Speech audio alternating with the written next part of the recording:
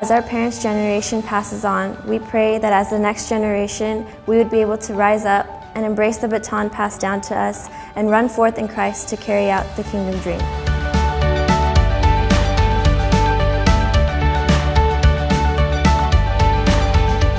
In John 13, Jesus gives us a new commandment to love one another.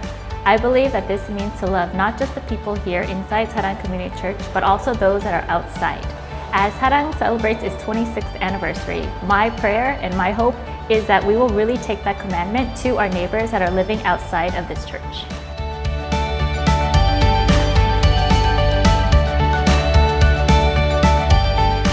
Our 저희 교회가 이렇게 26년 동안 성장할 수 있었던 이유는 제자 훈련의 힘이 아니었나 싶습니다. 앞으로도 평신도를 깨워서 작은 예수의 삶을 사는 우리 모두가 되었으면 좋겠습니다.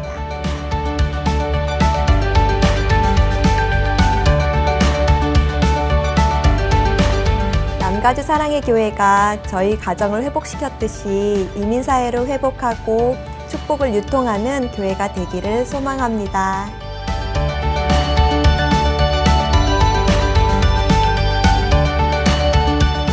하나님께서는 성경 전체를 통하여서 온 열방을 축복하시길 원하시며 모든 열방이 하나님께 나와 예배드리기를 원하십니다.